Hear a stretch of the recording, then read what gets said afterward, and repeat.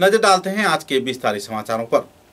पिछले 28 नवंबर को हैदराबाद में डॉक्टर प्रियंका रेड्डी नाम के एक चिकित्सक को बलात्कार कर ज़िंदा जलाए जाने के मुद्दे को लेकर पूरे देश में जहाँ बवाल का माहौल खड़ा हुआ है तो वहीं दूसरी ओर महिलाओं की सुरक्षा पर कई सवालिया निशान लग रहा है।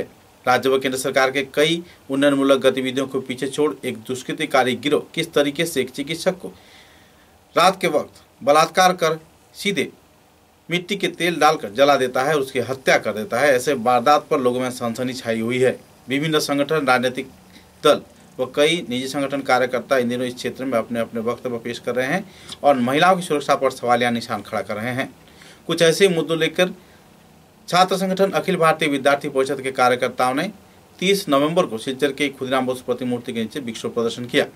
अपने वक्तव्य में कार्यकर्ताओं ने संदर्भ में गहरा क्षोभ व्यक्त किए और राज्य और केंद्र सरकार से जल्द से जल्द अपराधियों की गिरफ्तारी के साथ साथ उन्हें फांसी दी जाने का मांग रखा गया गौरतलब है कि अब तक पुलिस प्रशासन द्वारा हैदराबाद पुलिस की जानकारी के अनुसार चार लोगों को वारदात से जुड़े रहने पर गिरफ्तार कर लिया गया है হায় হায় হায় হায় হায় দুটো গাইরা হায় হায় হায় হায় হায় প্রিয়াঙ্কা রেড্ডির হত্যাকারীদের ফাঁসি চাই ফাঁসি চাই ফাঁসি চাই প্রিয়াঙ্কা রেড্ডির হত্যাকারীদের ফাঁসি চাই। ফাঁসি চাই ফাঁসি চাই।